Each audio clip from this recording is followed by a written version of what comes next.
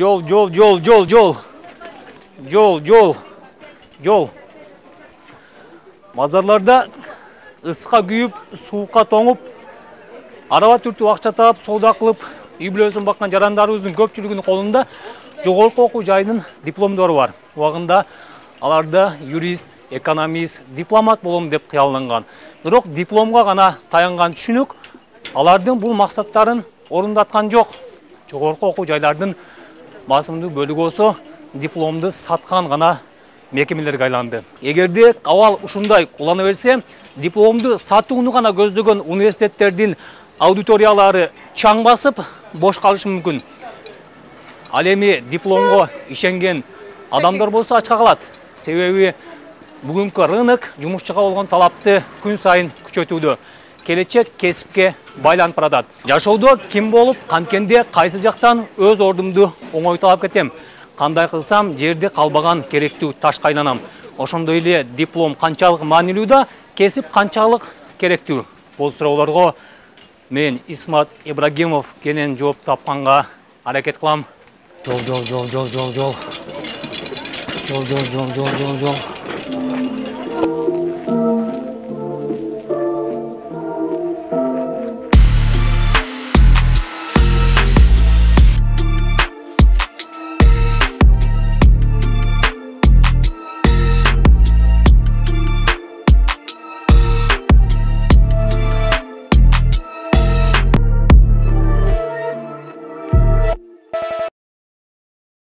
Мекендешибиз алишер имамов жогорку окуу жайдан диплом алуу үчүн он жылдан ашык убактысын короткон. Алгач башкаларга суктанып отуруп экономист бөлүмүнө тапшырган. Бирок эки жыл өтүп жалаң сандар менен иштөө ага көп жага бербегендиктен кесибин алмаштырууга туура келген.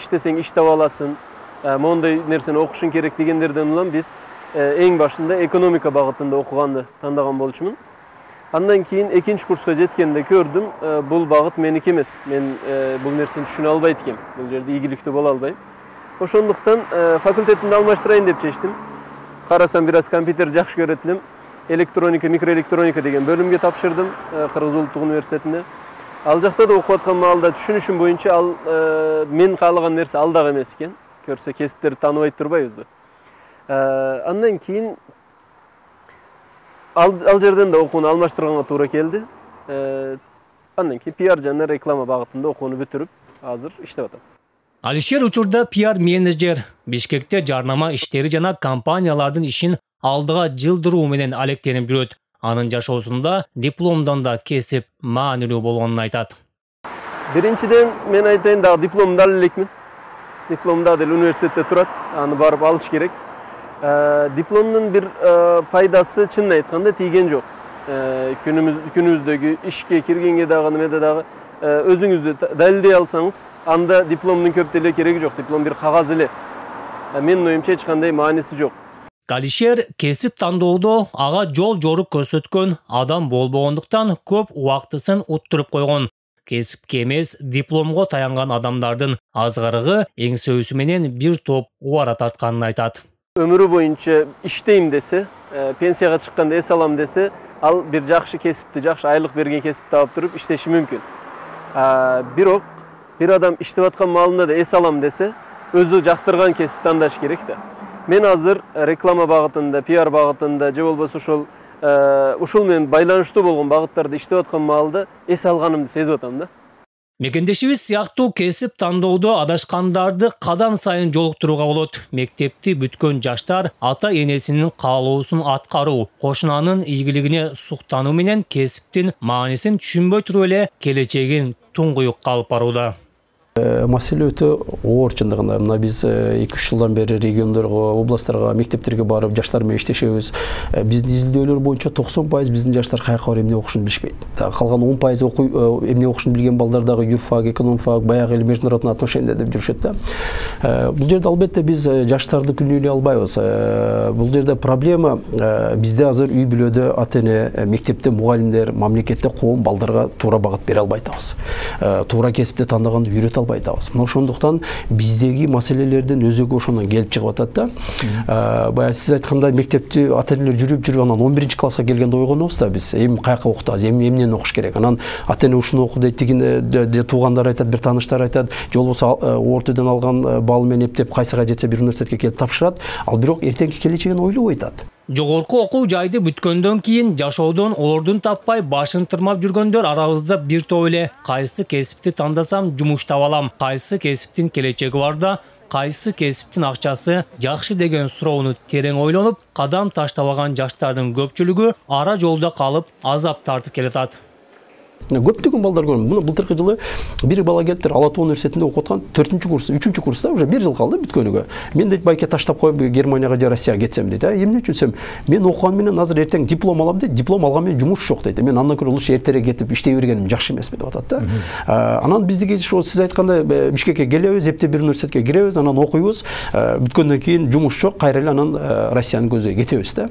Окууну бүткөн бала айла жоктон россиялап кетпеш үчүн ата эне коом кайдыгер болбошу керек. Маселен өнүккөн өлкөлөрдө алтынчы класстан тарта атайын адистер ата эне менен сүйлөшүп баланын келечегине кам көрө баштайт. Баланын жөндөмдүүлүгүнө карап аны менен макулдашып жети жыл бою кесипке даярдайт. Бул натыйжалуу ыкма бизге да өтө керек болуп турат.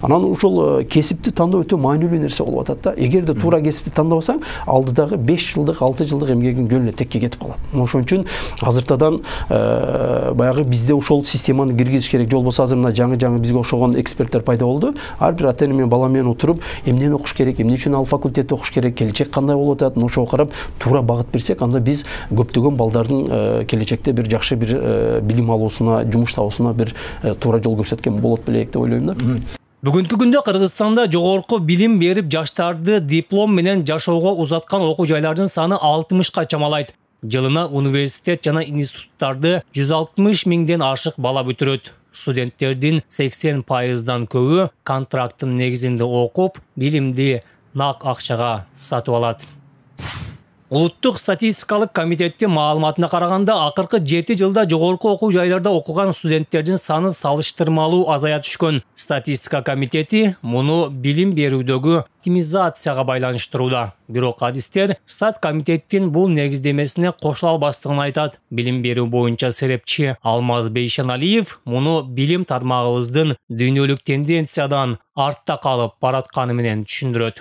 Бизде азыр кыргызстандын билим берүү системасында жогорку окуу жайлар жалпы дүйнөлүк тенденциялардан кыйла артта калды десек жаңылышпайбыз анткени дүйнө жүзүндө билим берүү абдан башка формаларга өтө баштады университеттер бир гана билим берүү аянтчасы болбостон университеттердин функцияларында да көп айырмалар бар да биздин мисалы кыргызстанда билим берүү университеттер жогорку окуу жайлар билим берүү гана милдеттүү болсо ал эми өнүккөн мамлекеттердин моделинде университеттер билим берүүгө илим изилдөөгө ошол жерде бизнес менен билим берүүнү синтез кылып мындайча айтканда бизнестин коомчулуктун мамлекеттин заказдарын аткарууга аны менен кошо бүгүнкү күнү инновациялык жаңылыктарды иштеп чыгуу боюнча төрт негизги функцияны аткарат. Теориянын негизинде гана берилип жашоодо эч нерсеге жарабаган диплом жогорку окуу жайлардын кадырын кетирүүдө буга азыркы өкмөт билим берүү министрлиги гана күнөөлүү деп айтууга болбойт жетимиш жылдан ашык орустардын кол астында жашап келген кыргызстан башка советтик өлкөлөрдөй эле түптөлүп калган системадан арыла албай келатат.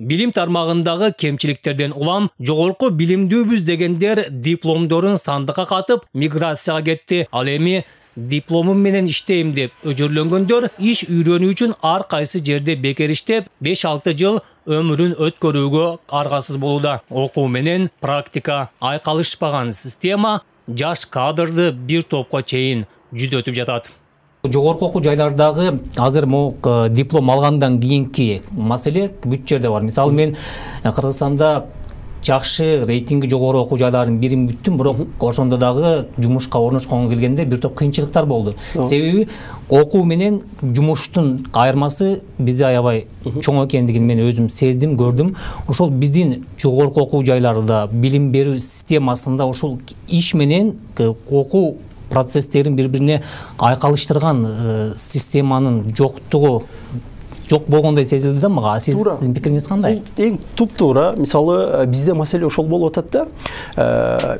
Мисалы биз баягы университеттерде бир гана теорияны эле окутуп атабыз да. А практика жүзүндө бизде практикада эмебиз жок болуп атат тажрыйбабыз жок болуп атат мисалы ошол эле жана германияны алып карай турган болсок аларда кайсы факультетти окубайт жок дегенде ошол алты айлык жарым жылдык бир жылдык практика эмеси бар. Мындайча айтканда сен сөзсүз ошо практикадан өтүшүң керек анан университетти бүтө аласың да.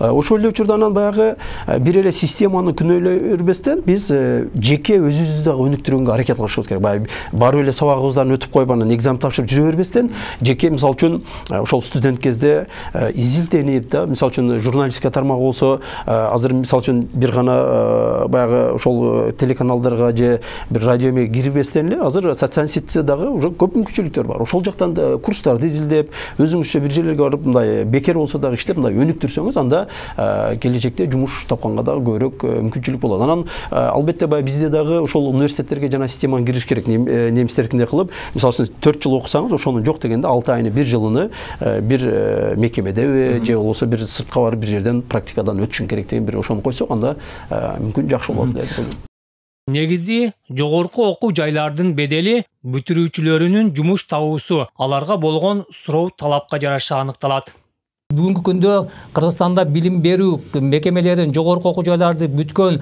диплом алган адамдардын балдарыбыздын канчалыгы иштеп кайсы тармактарда эмгектенип жаткандыгы тууралуу сиздер мындай рейтинг статистика чыгарып турасыздарбы акыркы бир жылдыктын көрсөткүчү боюнча бүгүнкү күндө абал кандай бүгүнкү күндө ошо вуздардын берген маалыматы боюнча ошо бүтүрүүчүлөрдүн жумушка баягы орундалып кириши боюнча ушеки жетимиш орто эсеп менен ушу жетимиш тире бир сексен сексен беш токсон пайызга чейин жумушка кабыл алынат экен. Бирок бул жерде дагы көп мындай суроолор бар. Себеп дегенде бүтүрүүчү мисалы алсак экономист деген адиске ээ болгон бүтүрүүчү ошо жумушка орношкондо ошо өзүнүн адистиги менен эмес бөлөк бир адистиктер менен да иштеши мүмкүн. Ошондуктан бул жалпы маалымат бул жагынан дагы более детальный анализди карап ошол боюнча бир быйылкы жылдан баштап карап чыгып ошоеки сапаты жагынан баягы көрсөткүчтөрдүн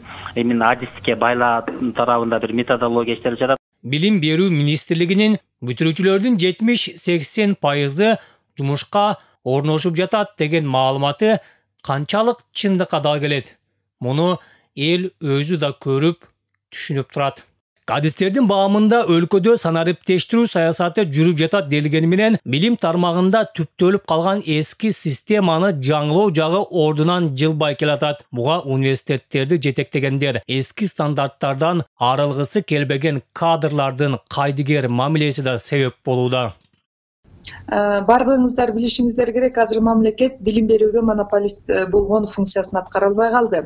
Башкача айтканда министрликтин бир берген диплому менен билим берүү системасында кесиптик багыт берүүдө монополист болбой калды. Азыр дүйнөдө түз тандоо кесиби пайда болду. Экономиканын кыймылдаткыч күчү болгон дүйнөдөгү керектүү кесиптерди аныктоо дүйнөдө алдыга кетип калды. Тилекке каршы бизде кыргыз республикасында бир аз дагы эле болсо арттабыз аны мойнубузга алышыбыз керек.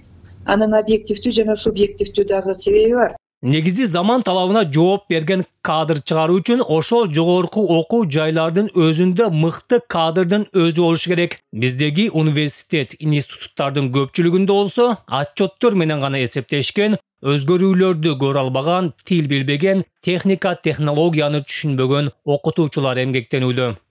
Эң биринчи жогорку дүйнөлүк деңгээлде дүйнөлүк эмгек рыногуна адистерди даярдоодон мурун керек болсо ошол адистерди даярдаган жогорку окуу жайларда адистерди даярдоодон башташыбыз керек. Алар барбы бүгүнкү күндө? Жок. Ал эми кыргызстандагы атактуу деп мындай э, белгиленген окуу жайлар мейли э, мына кыргыз түркманас университетин караңыз э, славян окуу жайын кыргыз славян орус окуу жайын ошондой эле аупцияны караңыз. Бул жердеги тандалган балдардын баары негизинен чет өлкөгө кетет. Биздин ички экономикалык кудуретибизди көтөрүү үчүн адистерди даярдоону биз жеке гана жогорку окуу жайлардан баштабастан мектепте базалык компоненттерди киргизүү кесипти алуу боюнча ошондой эле атайын жана мына ктуларда базалык компоненттерди киргизүүгө эркиндик жана мүмкүнчүлүк беришибиз керек. Дүйнөлүк тенденциянын эпкини кыргызстанга да жетип өлкөдө өзүн өнүктүрүүчү борборлор адистештирилген курстар кичи академиялар ачыла баштады. Жаштар дипломдон кесип маанилүү экенин түшүнүп өзүн ар тараптуу өстүрүүгө ашыгууда. Айрым учурда айрым окуу жайлардын биз э, мындай тыгыз иштеп атканда айрыкча аймактагы окуу жайлардагы студенттердин санынын соолуп соолуп керек болсо жогорку окуу жайга тапшырбастан бүгүнкү күндө кыска аралыкта кандайдыр көндүмдөргө ээ болуп чоң акча тапкан мүмкүнчүлүк заманы келди башкача айтканда кесип алуудагы өнүгүүнүн жумшак ыкмалары бүгүн актуалдуу болду мына отузунчу жылга карата бир элүү жети кесип жок болот деп дүйнөлүк экономикалык форумда маалымат берди жакынкы жылдары биз колтуктап же сандыкка катып койгон физикалык диплом маанисин жоготот жогорку окуу жайлар окуу стандарттарын замандын жумуш берүүчүнүн талаптарына ылайыкташтыра албаса аудиториялары чаң басып бош калат дипломду гана саткан университеттердин ордун билим саткан чакан академиялар ээлейт башы иштеген бала мурдагыдай беш алты жыл өмүрүн бекерге өткөрбөйт бир нерсе үйрөнө албай жатса таштайт да керегин издеп башкага жөнөйт техника технологиянын өнүгүүсү интернеттин кеңири кулат жаюусу менен билимдүү ишин мыкты билген колунан иш келген кадрларга талаптар болуп көрбөгөндөй өстү мындан кийин да бул процесс күчөсө күчөйт артка кайтпайт мындайча айтканда ишти билген адам гана иштейт тааныш тайке байке деген замандарда убакытысы келип өтүп баратат мен гана билем мен гана кыйынмын деп текеберленген да ачка калат анткени технология жана атаандаштык рынок ийкемдүүлүктү талап кылат исмат ибрагимов кутман маматазимов апта сереп бешинчи канал.